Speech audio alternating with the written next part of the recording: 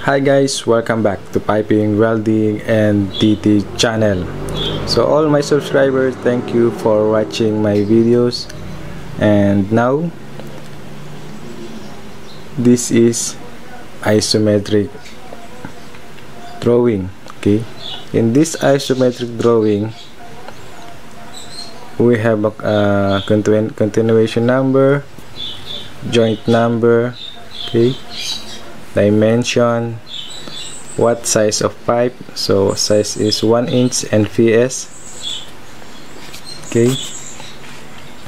And we have also um, valve. Okay. So this is a valve. And we have also fittings flange weld neck flange. What is this? So this is weldolet so this is a field weld joint okay? So all this is sockolet okay? We have a pipe. So this pipe is A106 based on our um, material description or BOM okay? And also this is a support. So we will topic the topic for this video is support. Okay from this support okay I will zoom it.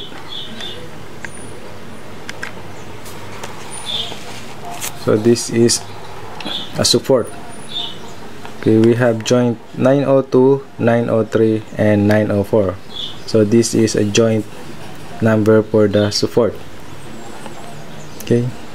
And we have also a C detail C S11 and S12 so we have a detail C and detail B.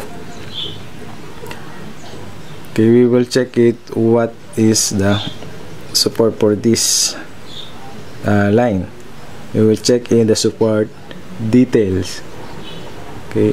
In other isometric drawing they have no details on isometric.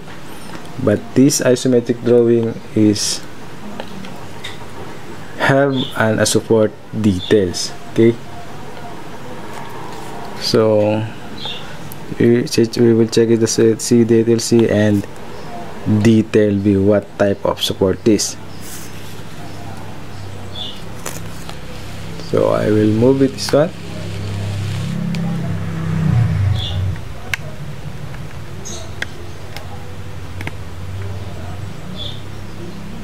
So that one is the line. And we have also a support for that line. So this is also support joint 901 and detail D. Okay. So this is a support.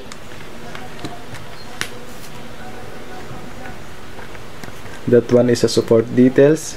Okay. So this is support details in isometric